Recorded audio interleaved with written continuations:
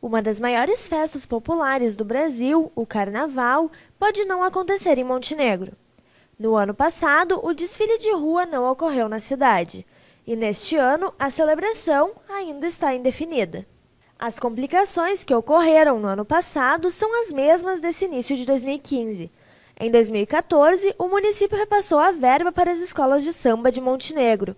Contudo, não houve a prestação de contas de onde foram investidos este dinheiro e isso impede que o repasse correspondente a este ano seja realizado. No último dia 3 de fevereiro, o prefeito se reuniu com os representantes das escolas de samba da cidade para debater o assunto. Porém, a situação não foi resolvida.